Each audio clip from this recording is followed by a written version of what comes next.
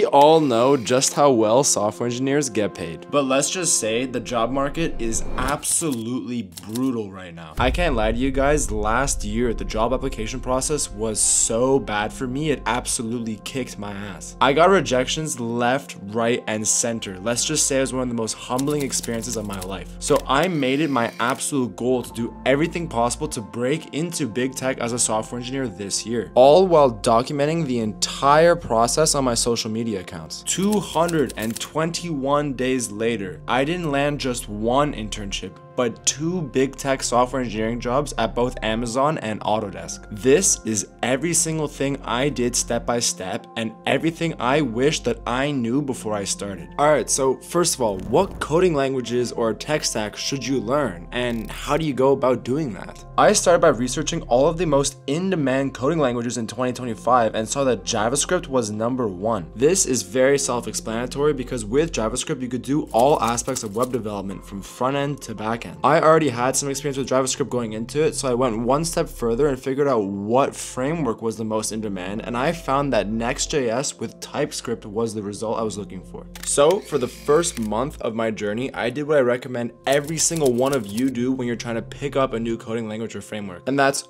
go to YouTube and find a crash course. Ideally, one that's building out a coding project that you actually find interesting. This is because the only way you'll ever learn how to code is by actually coding something. So by going through this tutorial line by line and actually understanding everything that was going on, I was able to pick up some basic fundamentals to continue my journey. Now, I didn't want to just be a front-end web developer. If anything, I've always been more interested in back-end web development. And I'm a firm believer that because I become a master in Java and Spring Boot, I made myself extremely hireable for big tech companies. And even right now, when I'm interning at Autodesk, I'm literally working in Spring Boot and Java as a backend engineering intern. Now this is simply because a lot of old legacy code is written in Java. So to give yourself an advantage and stand out, I highly recommend you learn this. When I first started out, I would predominantly watch Amigos code on YouTube. He's an absolute legend. But for the purposes of trying to land a job, I wanted to go that little bit further. I knew that AWS, which is a cloud service, is extremely in demand and it's really not taught at all in universities. So to stand out that little bit more, I wanted to do something with AWS in one of my next coding projects. So just like with Next.js and TypeScript, I started by watching this YouTube video. There's another video by Amigos Code on YouTube where he built a full stack project with Spring Boot, but most importantly using AWS S3 buckets. This brings me perfectly into the most important part of this video, and that's coding projects. Especially when you have next to no relevant experience on your resume, coding projects will be the only way to showcase to recruiters that you're actually good enough to get hired in a certain role. So it's absolutely crucial that you build some that are good enough for you to stand out amongst all the thousands of other applicants. Let me show you the five that I built and why they were so successful. First of all, I have my very own coding portfolio. And inside of it, you could see links to every single one of the coding projects I've ever built. As a software engineer, your coding portfolio is as essential as your resume. And this is so recruiters can see your work firsthand. So if you don't have one already, spend at least a month working on building a nice looking coding portfolio with links to a bunch of live coding projects. For example, my next one, which is this McGill exam scheduler. This coding project was an exam scheduling app that I built for McGill students. But why in the world was this simple coding project so damn effective? It's because I built something that was used by thousand and seven hundred people. And then when I would talk to a recruiter in an interview, they would be so impressed because my code was able to impact thousands of other people, so it proved to be reliable and good quality work. Now this brings me to point number two. The reason you are not getting hired is because you are building shit coding projects that do not follow the full software development cycle. And I don't really blame you because nobody teaches you this as a CS major. So let me put you on super quick. So this is the software development lifecycle and your coding project should build something that ticks every single one of these six things. So this includes your normal analysis and design and implementation, but most importantly, testing deploying, and then maintaining it when you actually have a user base. So many of you will have coding projects on your resumes that are just direct copies from YouTube tutorials and wonder why you can't get hired. When in reality, a software engineer's job is not just writing code that runs, it's everything that happens afterwards. And I absolutely promise you, if in your next interview you mention how you built a coding project that ticked every single stage of the software development lifecycle, you will stand out. But how do you do this? It might sound a bit convoluted, but one of the best pieces of advice that I've heard that really worked for me was build startups and not coding projects. Because then, in the best case, you have a coding project with tens of thousands of users that is making you money so you don't even need a job. But on the worst case, you actually have a coding project that's worthwhile putting on your resume that will land you the job you've been looking for in the first place. So let me show you what I did. I spent a good six months of my journey building this startup, which is called Empor. It's Canada's first student exclusive marketplace. As of right now, we're in a beta phase only to McGill, where we have over 500 users and hundreds of listings. So for your next coding project,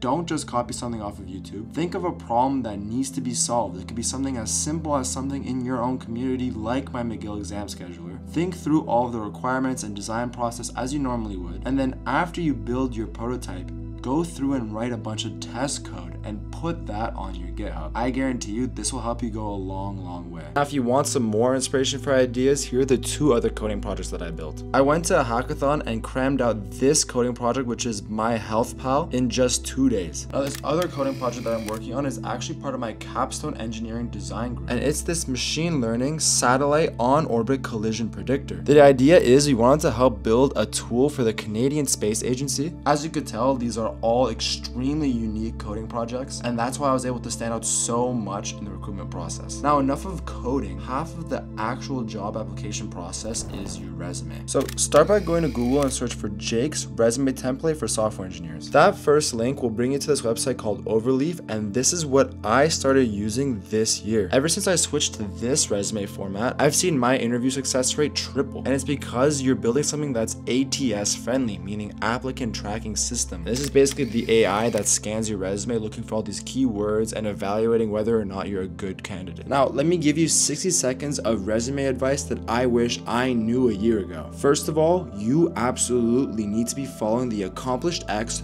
through Y using Z method in every single one of your bullet points. For example, one of my best bullet points on my resume mentions how in a production level app, I reduced latency by 27% by implementing caching using Redis. It's such a simple line, but extremely effective, especially when you bold and quantify all of your achievements. For example, that 27% and Redis was bolded on my resume. And this is because a recruiter spends seven seconds looking at your resume on average. So if you bold all of your key technologies and all of your impact, you could kind of impress a recruiter really quickly. Now, once you perfect your resume and all of your coding experience, you're gonna get to the hardest part of this, which is the interview prep, because they're absolutely broken for software engineers. Now, after hearing about all of these different coding languages and frameworks you have to learn, and the level of good quality coding projects you have to build to stand out in this job market, you might be feeling extremely overwhelmed, and I don't blame you. So that's why I partnered up with the sponsor of this video, Zero to Mastery. They're this program that have helped so many aspiring software engineers break into big tech. And that's because they have a ridiculous amount of courses ranging from web development to learning AI or even just becoming a Python developer. So if you want to learn all the necessary skills to land that job of your dreams, they have a course for you.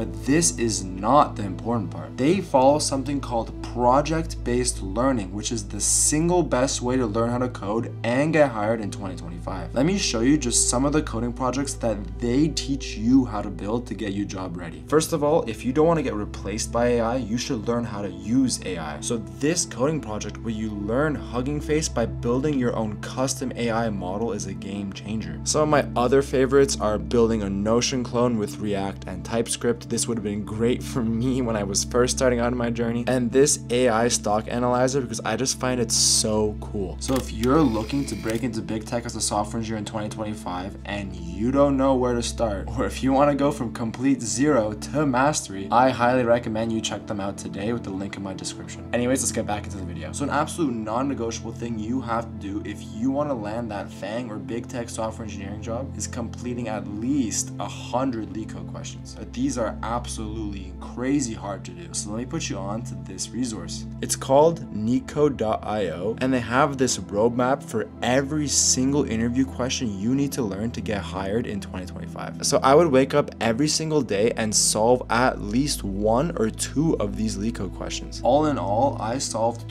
217 of them. And that way, when I started to get the interviews, I was actually ready. And honestly, if there's one thing I want you to take away from this is when should you be building coding projects and when should you be grinding LeetCode? Think of your coding projects as what gets you to that door. So if you have no experience, you can't even get these interviews, build coding projects and put them on your resume. But if you're starting to get these interviews, you will never get through that door and get hired unless you grind LeetCode for hours and hours. So if you're at a position where you're able to actually get interviews, stop building coding projects and just focus on your LeetCode prep. I promise you it will pay off a lot more in the long run. With your LeetCode and your behavioral portions, the only thing I could tell you is practice makes perfect. I have fumbled countless interviews, including companies like Microsoft, TikTok, Amazon last year. So all you gotta do is persevere and keep practicing. Try to sit down with some of your friends, do some mock interviews for 30 minutes to an hour. It'll go a long way. Now that was my entire journey over 221 days. If you made it this far in the video, leave a comment below that you're starting your own journey and come back to this when you get hired because I promise you if you keep showing up, you will get what you're looking for. Leave a like and subscribe for more. I'll see you in the next one.